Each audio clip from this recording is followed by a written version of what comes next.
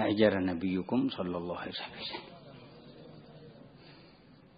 لله ومن أجل الله وفي سبيل الله وفي الوفاء بعهد الله وفي الأداء لأمانة الله وفي الخدمة للمسلمين. بل بالرحمة للعالمين صلى الله عليه وسلم. وفي أجل البيان لأجل البلاغ لأجل الإسعاد لأجل الإمداد لأجل الإرشاد لأجل الجمع على الله لأجل الإيصال إلى الله. لم يكن شدة العذاب بمكة الدافع وحده للخروج لكنها مهمة الرسالة وعظمة الأمانة. والعمل بسنة الله في البرية بأخذ الوسائل والأسباب للوصول إلى المقاصد والغايات. والمقصد والغاية وفاؤه بعهد ربه وتبليغه لرسالة ربه. وأداؤه لأمانة ربه. فلأجل ذلك ابتدأ يفتح باب الاتصال بالناس في مختلف الأقطار. من خارج الجزيرة العربية أرسل أول دفعة أول دفعة من المهاجرين إلى الحبشة وفعلا تم اتصال. ووصل أثر الدعوة إلى ملك الحبشة. وأخذت الدعوة مجالها. وهو صاحب المجال الأوسع الذي بعث للعالمين رحمة. فما كان ليحبس رسالته وأتباعه في بقعة. ولا في مكان لا آمن ولا مخوف ولا فيه شدة ولا فيه رخاء بل كان من مهمته أن يوصل أثر هذا النور إلى مختلف البقاع والجهات. فكان ذلك من جملة الأسباب التي فتح بها صلى الله عليه وسلم باب الهجرة. ومما تعلق بالأسباب الظاهرية أن المهاجرين مع فتحهم لأبواب الدعوة ونشر النور والخير يفتحون أيضا أبواب الإنفاق في سبيل الله وتذوق الهجرة من أجل الله والكسب من أجل الله والإنفاق أيضا بعد الكسب على أهل دين الله.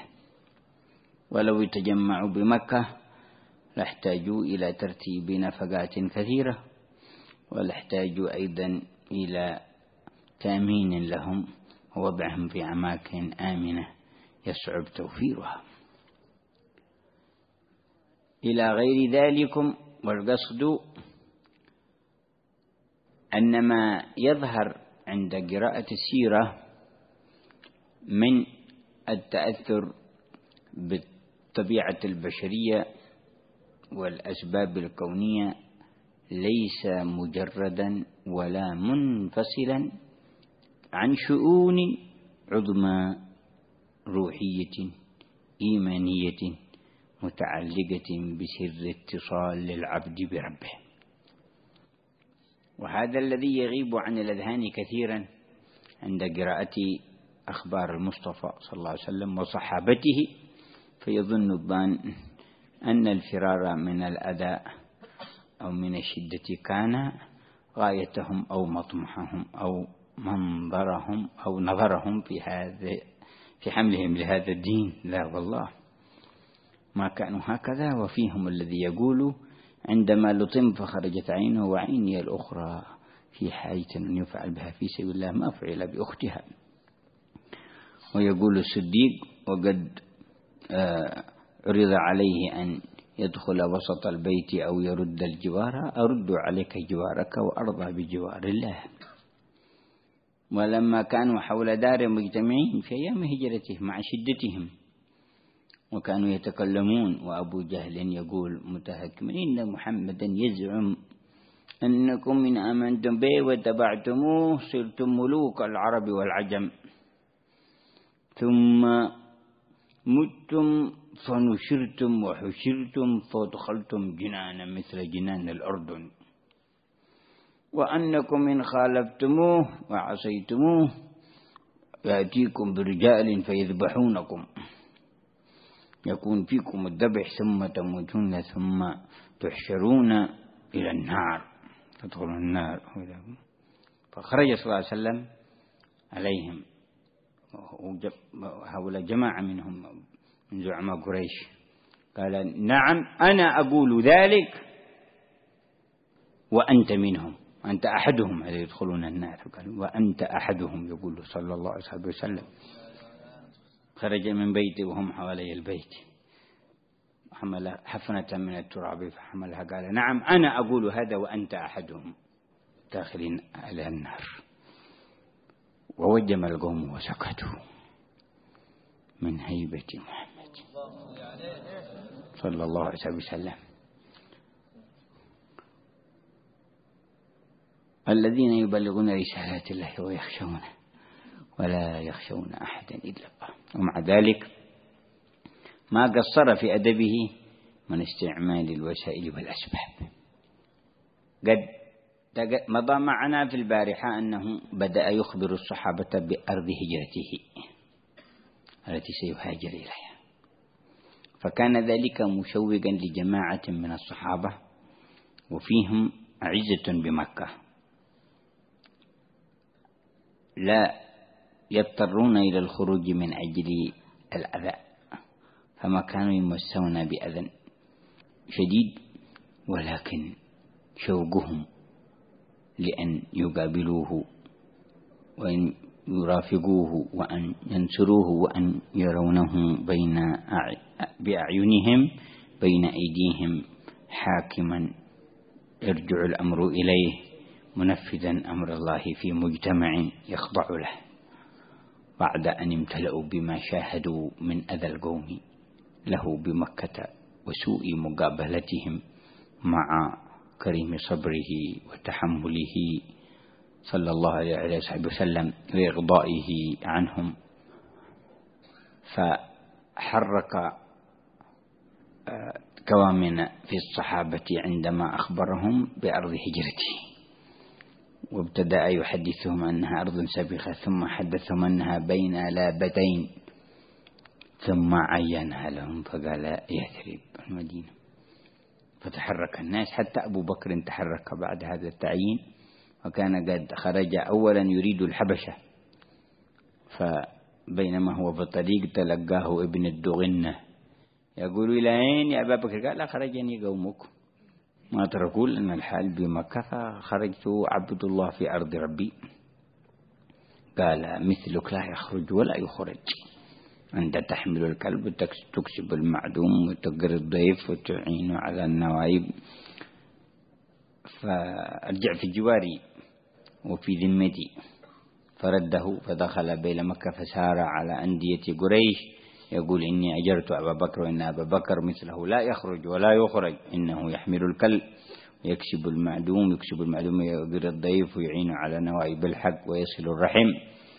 فقالوا له نقبل جوارك له ولكن قل له آه يعبد ربه في داره ولا يستعلن فيذينه فجاء إلى أبي بكر وقال إن قريش أجازت جواري ولكن اشترطوا عليك أن تعبد ربك وسط البيت ولا تستعلن بعبادتك لأنهم يعهدون من أبي بكر أنه يذوق عند التلاوة وعند الصلاة حلاوة تمتلئ بها جوانح تفيض أثرها على من حواليه يرون الدموع لا يملكها إذا قرأ القرآن تتحدر على خديه فيجتمع حواليه الناس. فخافوا من ذلك فقالوا قل لأبي بكر يكون وسط بيته مستخفيا لا يعلم بعبادته فيدين. مما يتأذون. فمكث أبو بكر مدة وسط بيته.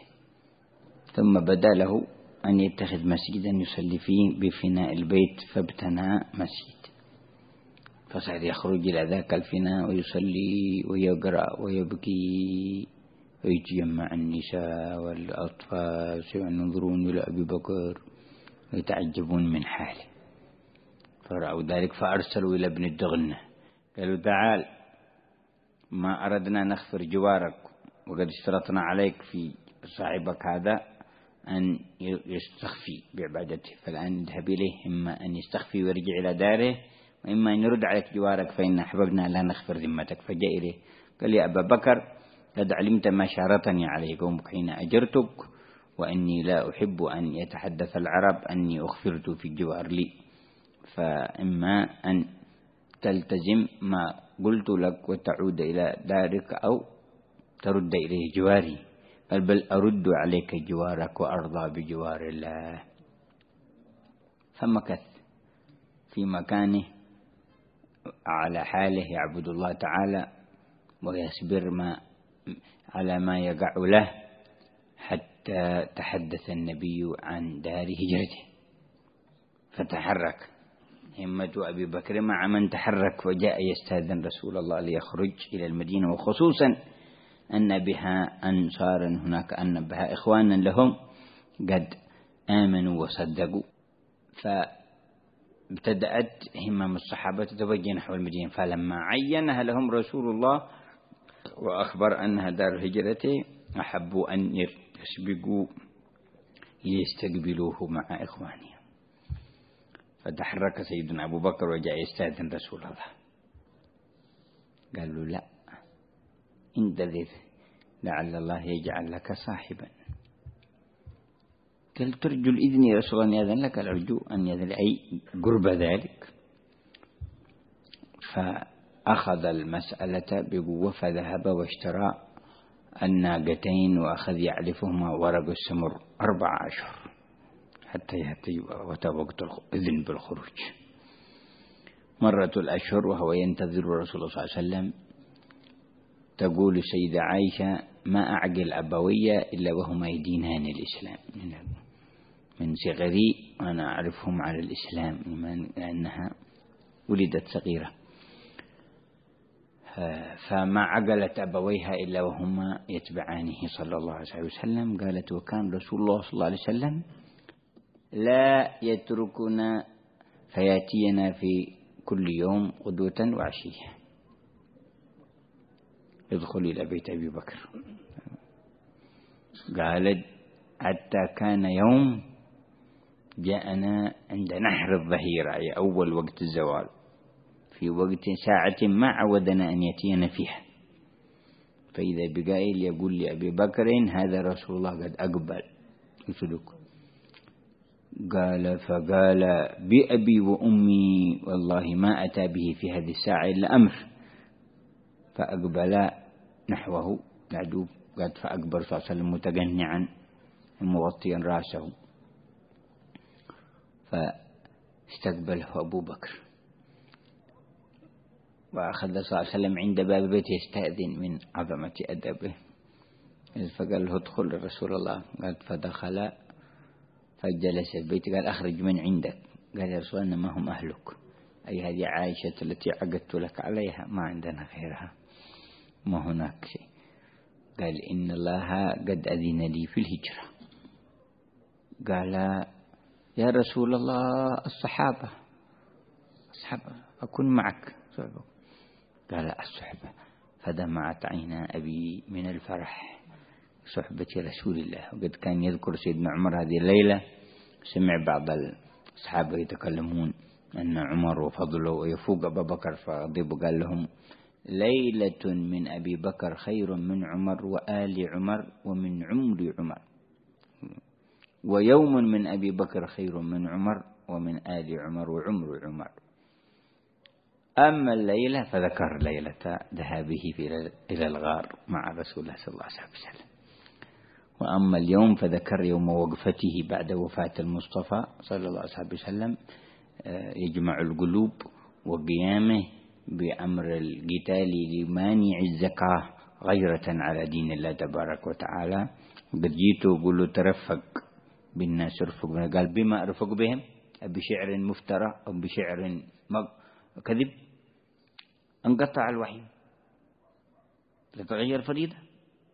يحل حرام يحرم حلال. انقطع الوحي. قد تركنا الرسول والله لو منعوني عقال بعير كانوا يؤدونه لرسول الله لقتلتهم عليه. قال فانتهض. فكان الرأي الرشيد الذي ثبت الله به الدين فذلك اليوم من أبي بكر. آه، مكة بدأت فيها مظاهر زلزلة من بعد بيعة العقبة. وبدأ يراود الأفكار ستكون له قوة وبيعة العقبة هزت الشياطين. حتى أن إبليس العقبة لزب الذي كان يقطن هناك ما استطاع أن يسكت.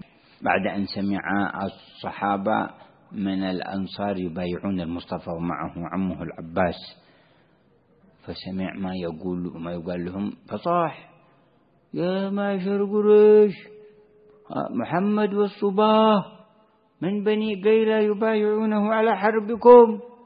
وكذلك وسمع النبي الصوت من عندهم أصحابه والناس في خيامهم بمنى. فقال النبي لصاحبه تفرقوا وامضوا كل يمضي في طريق. وقال عدو الله لا أتفرغن لك. أفرغن لك. ثم مضوا. وأخذت قريش تبحث وين وتجي من هنا وهناك. ما أثر أثر. جاءوا إلى بني قيلة يعني الخزرج والأوس اللي جاءوا من المدينة وجاءوا إلى عندهم قالوا إن كنتم البارحة فأخذوا الجماعة الذين ما بايعوا من جماعتهم المشركين الذي جاءوا ولا عرفوا عن أمر البيع شيء يعرفون لهم ما كان من أمر شيء ولا رأينا وكنا بتنا هنا وكلنا وردوهم عنهم. والصحابة يسكتون وينظرون إليهم أولئك يحلفون ويتكلمون بقوة ما كان منا. ردهم الله تبارك وتعالى عنهم ولم يزالوا يتشككون وابتدأ للدعوة تاريخ جديد بعد تلك البيعة المباركة.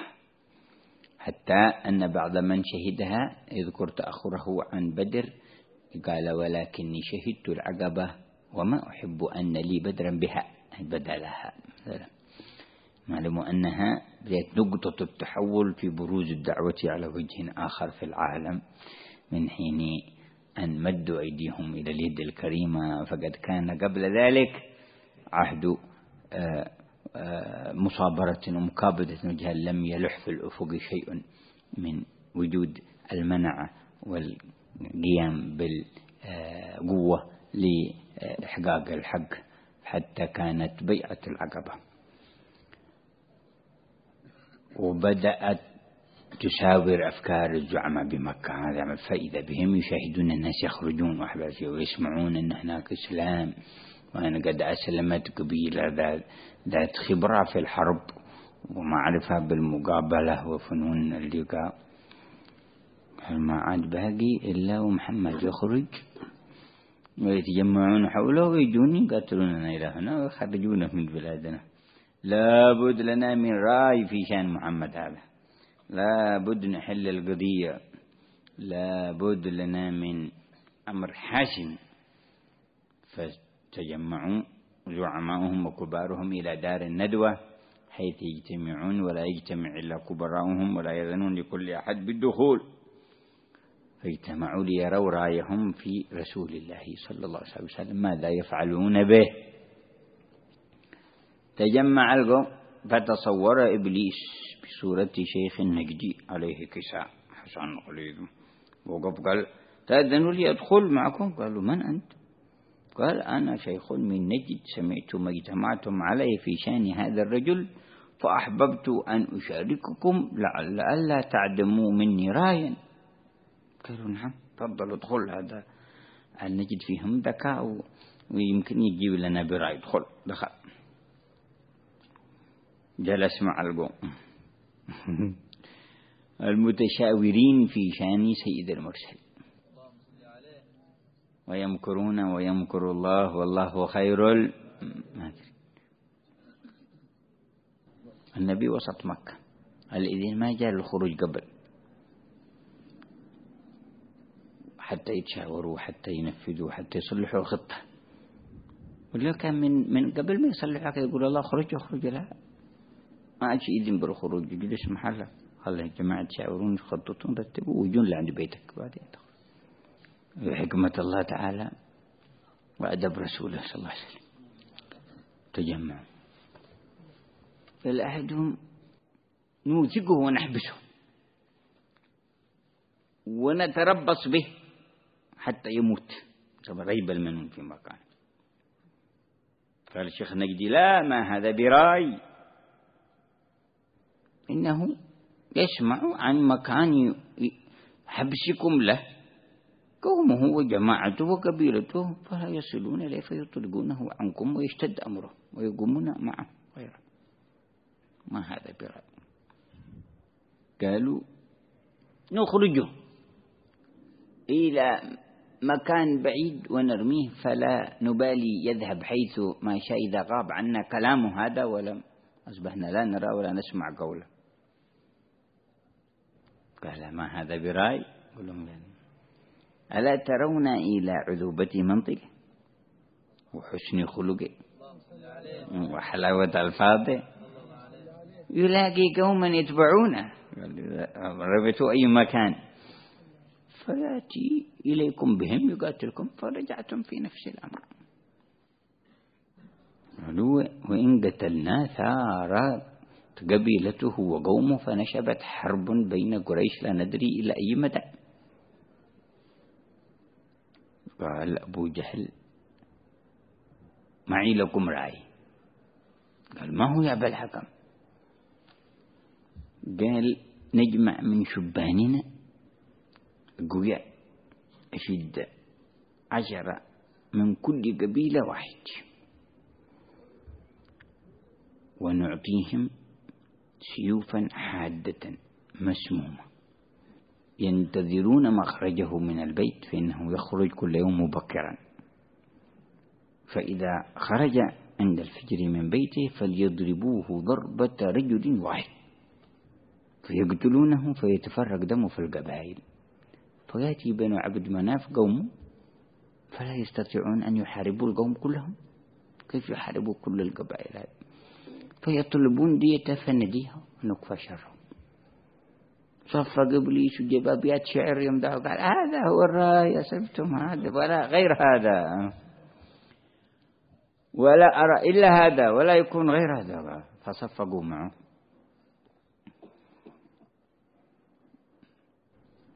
هذه الجلسات اللي يحضرها إبليس. موجودة في الأمات فعل الله شره وشرهم عنا. وجاء جبريل. اجتمع القوم على كذا وقالوا كذا وتفرقوا على خطة يعملون مع كذا وكذا وكذا. فما فعل قال قد أذن الله لك بالهجرة لكن بعد أن ينفذوا الخطة. وتبقى في دارك إلا أنك لا تبت في فراشك وابقى في البيت. حتى يأتي وقت الإذن من الله تعالى فيعلمك فاخرج فذهب إلى أبي بكر في الظهر ذاك اليوم. وموعدهم في الليل. جماعة ورجع إلى بيته. ودخل عليه سيدنا علي. فأراه الأمين. قال له علي هذا لابني فلان وهذا لفلان وهذا لفلان وهذا لفلان ودايع عنده. تنتظر بعدي. حتى تؤدي الودايع وهذا فراشي وهذه بردتي. ولا أنام وأنا على فراشي قال أنا أرقد مكانك رسول الله؟ أفديك بنفسي. فأعطاه بردته الخضراء واضطجع على فراشه وغطى نفسه ببردة رسول الله صلى الله عليه وسلم.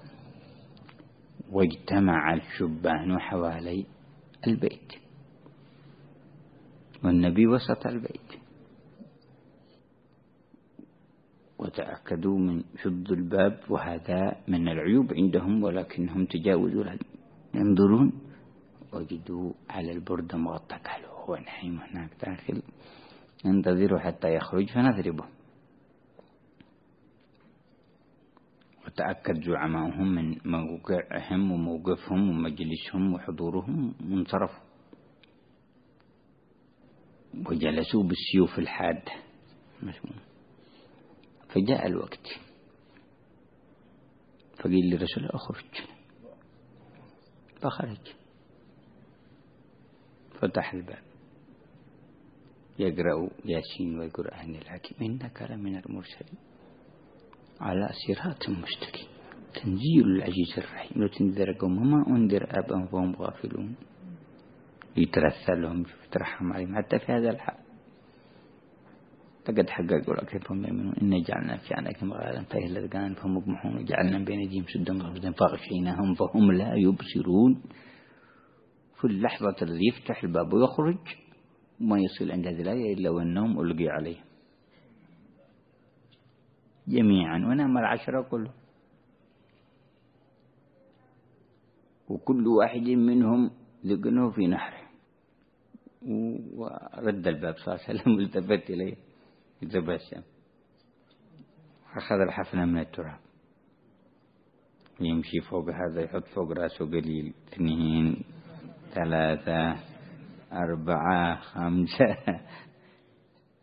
تكن هذا غير صاحب الصلة بالله والثقة بالله يقول عادك بتنبههم على نفسك. تحركهم. جيب نفسك وروح لهم. ما في يا رب. ستة سبعة ثمانية. كم عددهم؟ عشرة. كل واحد فوق راسه. تراب تراب تراب تراب تراب. بلا قلق بلا انزعاج. أعرابي كان صدفة يمر في الطريق. من بعيد يشوفه يحط التراب يحط التراب. وليش يسلح مع القوم يتحجب. ومضى النبي وإلى بيت أبي بكر حيث توعد وياه وقد رتب معه. وأخبره أنه سينطلق إلى الغار. إلى غار ثور. اتجاه معاكس لمكة لطريق المدينة. آه، زيادة في التعمية عليه. وهدوءا في الغار ثلاث ليال حتى يسكن الطلب. في نفس اليوم ما بين الظهر إلى ذاك الوقت قد سيدنا أبو بكر اتفق مع آه، عامر بن فهيرة مولاة. كان مولاة مسلم هذا ويروح عليهم بالغنم ويجيهم كل ليلة بالغنم وإلى هناك إلى عند الغار ويرجع ثاني يوم. اتفق مع ولده عبد الله يجي في الليل. بعد أن يهدأ الناس ويذكرون له يذكر له إيش الذي يقولون وإيش اللي يعملون لفين وصلوا. واتفق مع الدليل آه الذي يأخذهم آه إلى المدينة. وقد كان مشرك لم يزل لكن ائتمناه ائتمناه فاتفق معه أن يأتيهم بعد ثلاث بعد ثلاثة أيام موعدك في عند الغار تجي في يوم كذا. وسيدتنا عائشة قالت فجهزناهما البعيرين. حتى الجهاز لما وصل عند النبي في الظهر يقول له كذا قال له فخذ أحد بعيري هذين يا رسول الله ليكون مركوبا لك. قال بالثمن. قال لي أبا يا رسول الله أنا فداؤكم مالي وما معي. فترك قال لا أهاجر إلا بمالي. ونفسي فما رضي حتى أعطاه الثمن. أخذها منه بالثمن. وتم هذا. قال جهزناهما حث الجهاز. يعني أسرعوا. مش وقت ليلة بي خلاص بيسرون وحتى أنه كنا نشد عليهما فما وجدنا شيء فأخرجت أسماء أختها. نطاقها فشقته وشدت به. قالت أسماء فجاء جدي ثاني يوم. أبو قحافة قال لهم وين ذهب أبو بكر مع محمد يقول ما أرى إلا قد فجعكم بنفسه وماله قال بيشل نفسه وماله حتى ما بيخلي لكم شيء. يحب محمد هذا. قالت له لا ترك لنا مالا خيرا كثيرا. وقالت ما ترك شيء. فجيت بحجارة إلى كوة في البيت كان أبي يضع ماله فيها وغطيتها بثوب. وأبوك حافظ دعماء فجيت بيدي وقلت له هد يجد انظر في المكان المال لأبي بكر فقد ترك لنا هذا المال ضع لك قام وضع له قال ما دام ترك لكم هذا فليذهب لا بأس إذا هذا لكم فيه بلاغ قالت والله ما ترك من شيء ولكني أسكن به الشيبة قالت أتسكن بهم ولا ما ترك لنا شيء أنفقه لله. قد كان تاجر كبير بمكة ولكن أنفقه. عليه رضوان الله تبارك وتعالى.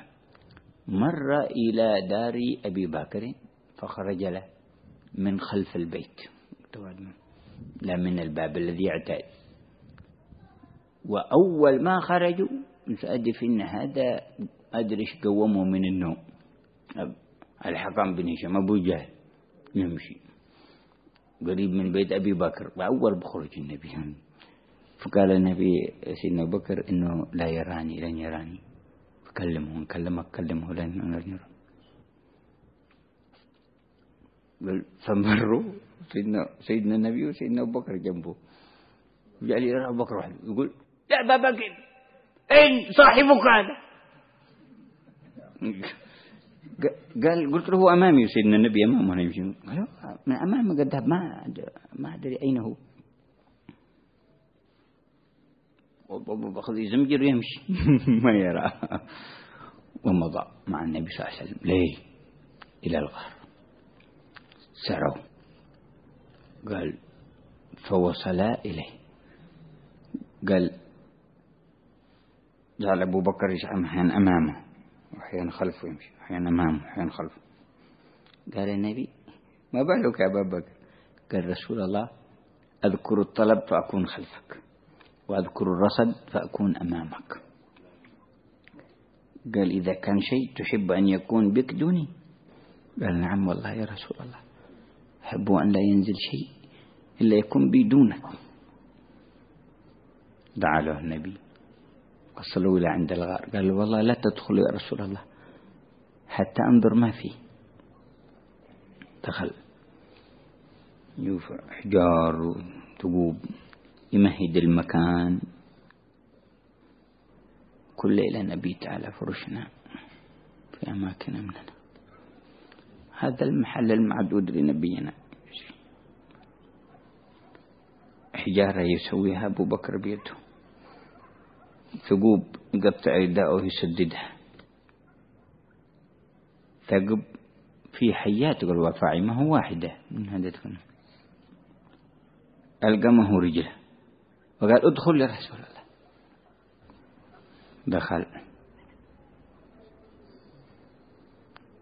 في أثناء الطريق قبل الوصول للغار لاحظ تأثر رجلي الحبيب من المشي. وكان يمشي حين على أطراف أصابعه ولا يعتد المشي في هذه الحفاوة فحفيت قدمه. فما قدر إلا يحمل رسول الله ويجريبه إلى قريب الغار من أثر التعب في الممشى الآن الناس يتعبون لما يصلون لهناك وهم يصلون بالسيارات إلى تحت الجبل وقريب من بعدين يطلعون في المكان يتعبون. دخل نام على رجل سيدنا بكر. والحيات شمينا الريح له. جاءت ساعة مباركة. حبيب الرحمن دخل عندي وسط الغار. كان يشوفنا تحن إليه الجذوع.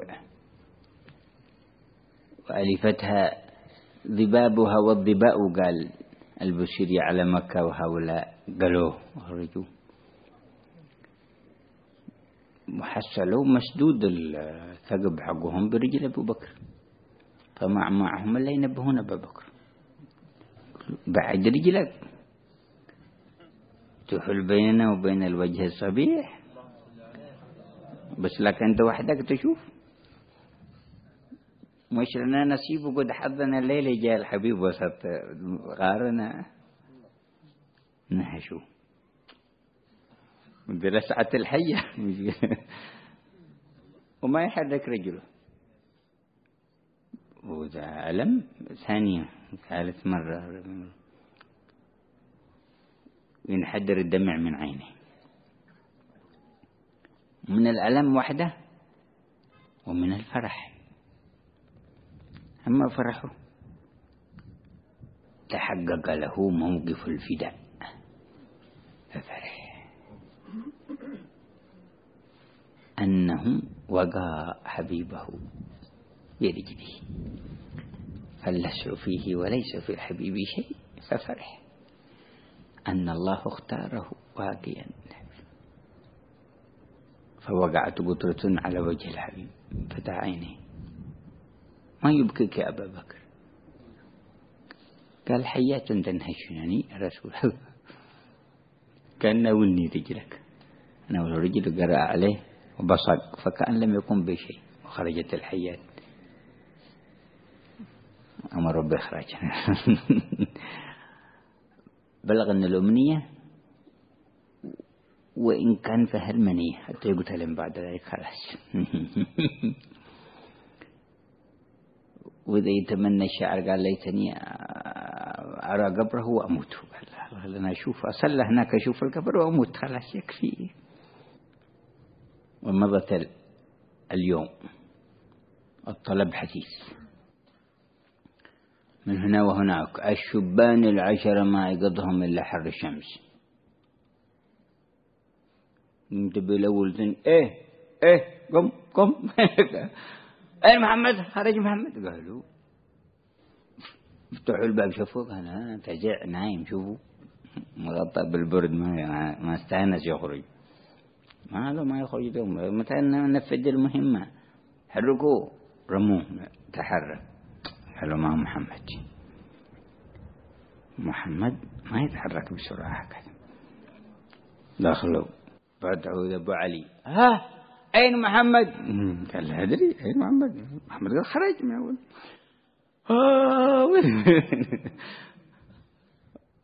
اتصل الخبر بزعماء وقرش يقول وكيف تتركونه وكيف يخرج ما هذه الخطة اللي صفق عليها إبليس أقوم. فأرسلوا في الطلب تو بسرعة حضروا قائف واحد واثنين. يقفون الأثر ويعرفون أثر رجل الإنسان حتى آه، بعد مدة إذا مشى فيه وأخذوا يشمون ويقولون هنا هنا. ويمشون. مشوا مشوا مشوا. واحد اسمه كرز من والثاني ما أدري من اسمه. لما وصلوا قريب الغار في الليل قدوا قالوا هنا وصلوا. هنا قدم أبو بكر وهنا قدم محمد. لكن ما أدري أين غابوا. بعد هذا ما علم لهم أثر. بينهم وبين الغار قريب أربعين ذراع خلاص قريب منهم. قال ما تعلم لهم أثر. قال ما أدري أنزل الأرض أم طلع السمع من هذا المكان ما شهدر قالوا أنت قايف ماهر؟ تعرف قال عندها الأثر هنا. قالوا أنت الآن بليل السبير حتى يصبح الصباح. أصبح الصباح التفت. قال انظروا هل في ذاك الغار أحد وصلوا. أرسلوا منهم اثنين يقربون. فقربوا من الغار وإذا بحمامتين. أرسلهم الله على باب الغار. محيد والعنكبوت. قالوا علاش رجعوا. قال ما لكم ما تصلون إلى الغار؟ قالوا على فم الغار حمامتين. سمعهم النبي صلى الله عليه وسلم. فعلم أن الله يدرى عنهم. فأشار إلى الحمامتين. فدنتا منه فمسح عليهما. صلى الله عليه وسلم. ثم ذهب القوم فأشار إلى الحمامتين يدخل الحرم. فيقال إنهما فرختا هناك وأن حمام الحرم من نسل هاتين الحمامتين.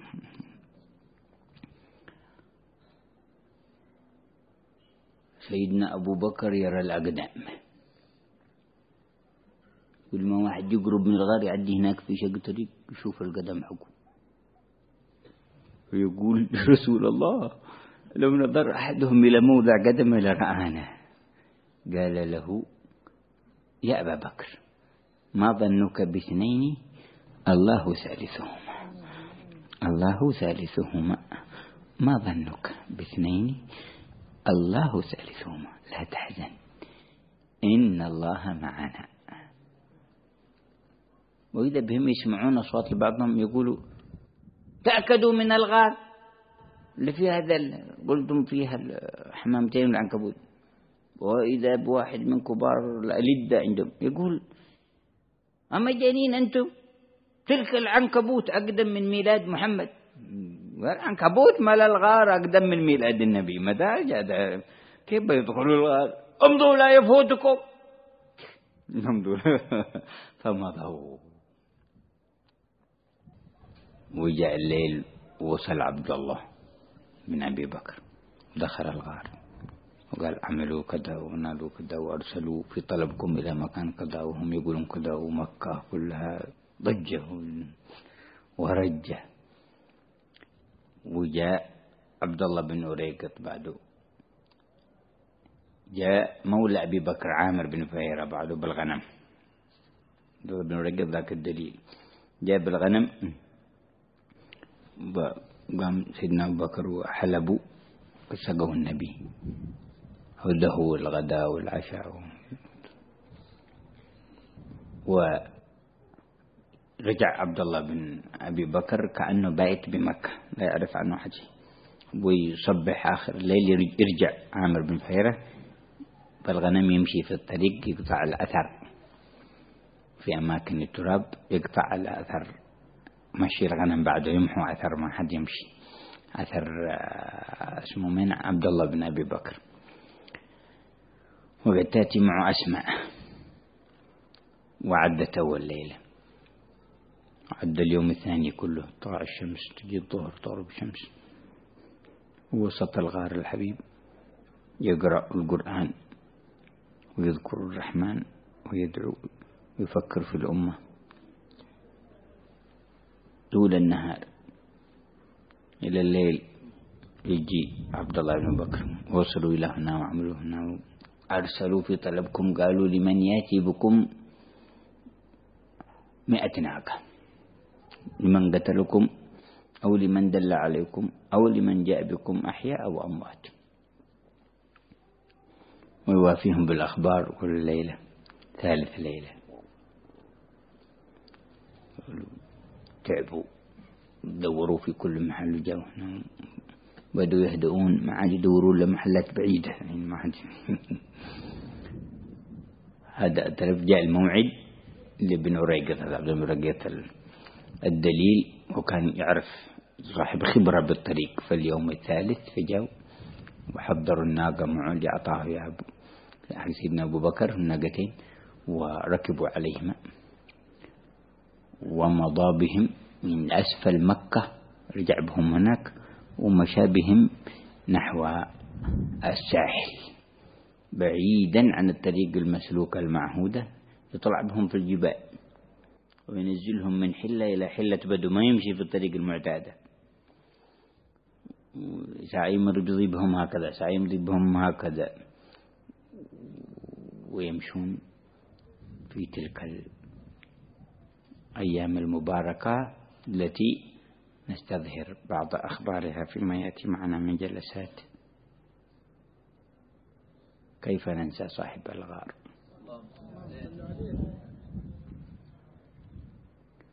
ومبيته تلك الليالي. الفراش حجر. الوسادة حجر. ومن في الغار؟ خير البشر. سيد أهل الأرض والسماء. ويضطر إلى هذا ويلجأ إلى هذا وهو راضي. ما نقصت عزيمته. ما فترت همته. ما قلت رحمته. خرج. بعد الثلاثة الأيام التفت نحو مكة الله يعلم أنك أحب البلاد إلى.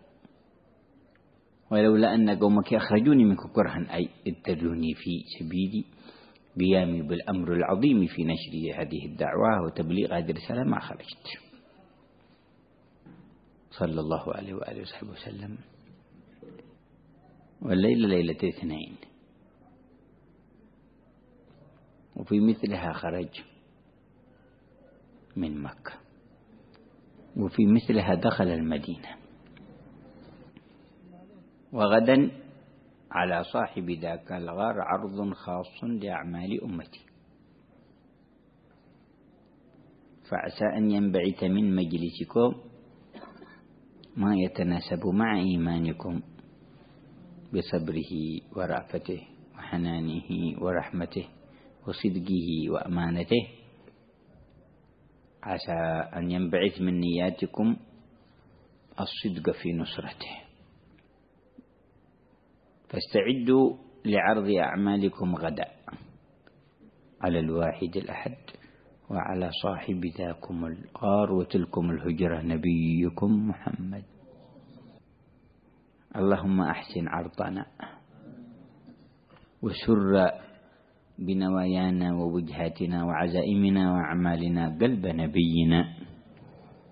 واجزه عنا أفضل الجزاء وأكرم الجزاء وأعلى الجزاء وأفضل ما جزيت نبيا عن أمته ورسولا عن قومه. وصل عليه في الأولين والآخرين وفي الملائل على إلى يوم الدين وعلى آله وصحبه أجمعين وعلى تابعيهم بإحسان إلى يوم الدين. وعلينا معهم وفيهم برحمتك يا أرحم الراحمين. أفضل الصلوات وأعظمها وأشملها وأدومها وأكملها وأكرمها. أبدا سرمدا عدد ما علمت وملا ما علمت وزنة ما علمت. وعدد ما أحاط به علمك في كل حط أبدا عدد خلقك ورضا نفسك وزنة عرشك ومداد كلماتك. بسر الفاتحة إلى حضرة النبي محمد. في ناس تشوقوا تشوقوا مرة جاي يشتري أبو بكر من بعضهم حاجة. قال له أراد يأخذ الحاجة معه بعد قال له اترك هذا أول حدثنا كيف خرجت مع النبي؟ في ذاك الليلة وقال لهم كذا كذا كذا وحدثهم. وبعض الذين يريدون البرزخ وبعضهم بعد في الجنة يذكرون الخبر. يسمعون من فمه بعض الكلام. على حسب أشواكهم وصدق محبتهم وتعلقاتهم أيام كانوا في الدنيا. من أهل الجنة من يسمع سرد السيرة كلها من الآخرة من اللسان الكريم نفسه. أهل قوة التعلق به. أهل العيش في كنف هذه السيرة وفي أنوارها وفي رحابها طول أعمارهم. في بلدان فيجزيهم على ذلك وهو من أحسن منه جزاء. ومن أحسن منه كرامة لئن تقربتم إلى الله بمحبته فقد جعل الله في قلبه من المحبة لكم ما لا تتصورونه. فالله يملأنا وإياكم بشوق ويرفعنا مع الحبيب بالحبيب إلى فوق ويجعلنا من أهل الفهم والعلم والذوق. والحمد لله رب العالمين. سبحانك اللهم وبحمدك أشهد أن لا إله إلا أنت أستغفرك وأتوب